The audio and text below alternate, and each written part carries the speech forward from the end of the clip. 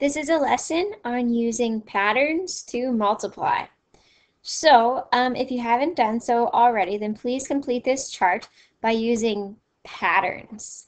So you can use patterns uh, going down or across. It'll work either way. So please pause the video if you haven't done so and play again once your chart is complete. Okay, and here are the answers. So you may have noticed some patterns were easier to go across and some down.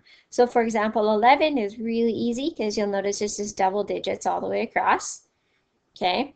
Um, and 8 was really easy because uh, the ones place just goes goes sort of skip counts backwards by 2. So it goes uh, 0, 8, 6, 4, 2, 0, 8, 6, 4, 2, 0, and so on. And then just goes 8, 9, 10, 11, 12. Uh, 12 repeats itself again here, 13, 14, 15, 16, and so on. So please double check your sheet and make sure that all of your answers is the same as this one. Um, and if you haven't checked already, then please pause and continue until finished. So um, this is a pretty short lesson, but it's just showing you that you can use patterns and mental, mental math to multiply. So the mental math with multiplying really only works when you know your basic multiplication. So that's the 0 to 9. So um, if you can tell me what 8 times 9 is without having to figure it out, then mental math becomes a lot easier. And as you get into the higher level maths, that math becomes easier, easier as well. So if you don't already know all of your multiplication skill, uh, numbers from 0 to 9, then I would I would be practicing that at home or whenever you have time. So um, let's look at an example of using mental math and patterns to multiply. So it says um, 6 times 79. So this might look like too big of a number to multiply in your head, but if you look at 79, we know that this is really close to 80. And we like numbers with zero at the end because that turns into a one digit by one digit number. And then we just put that zero onto the end, as we learned before. So um, if I were to go 6 times 80 instead, that's like saying um, 80 groups of 6 instead of 79 groups of 6.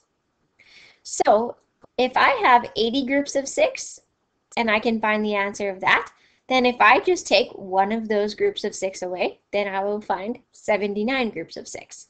So that would look like this. Um, 6 times 80, so this is where knowing your multiplication is handy. 6 times 8 is 48.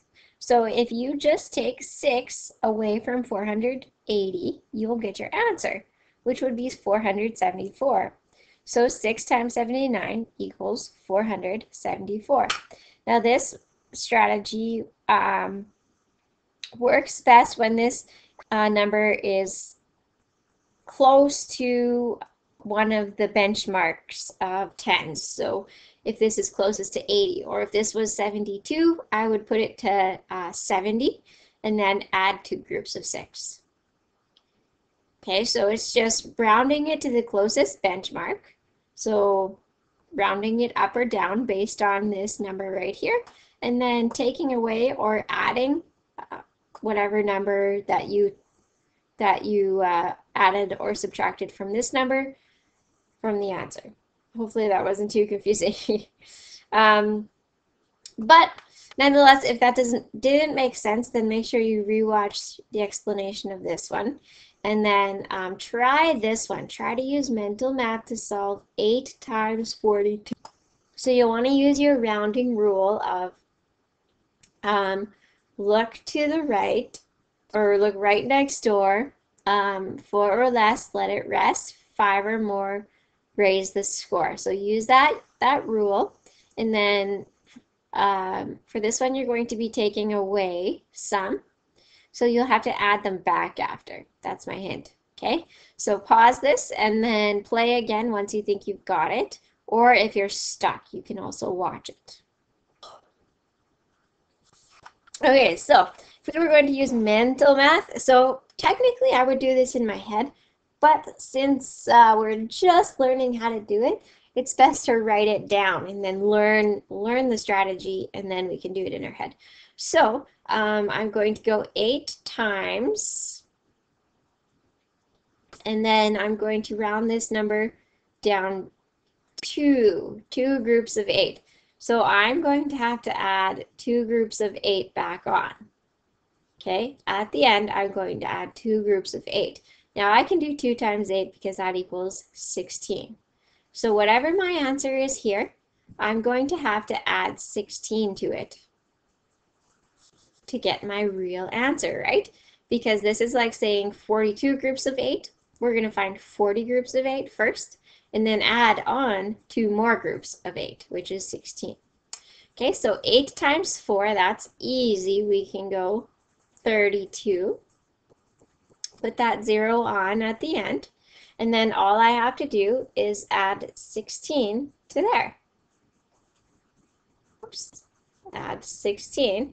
So I could do that in my head as well. And that's the whole purpose of that would be 336. Okay, so that's how you do mental math. But because you're learning, you won't just do it in your head. You need to write down the steps. Okay, so that's what you're practicing in this um, assignment. So don't remember, or don't forget, don't remember, don't forget that if you are making this number go down, then you need to add later. If you're making this number go up, then you need to subtract after. Think about it logically. Okay, um, your assignment is on page 294, and it is numbers 1 to 4 and 6. Okay. Oh, that was almost like your last one, but a 6 instead of a 7.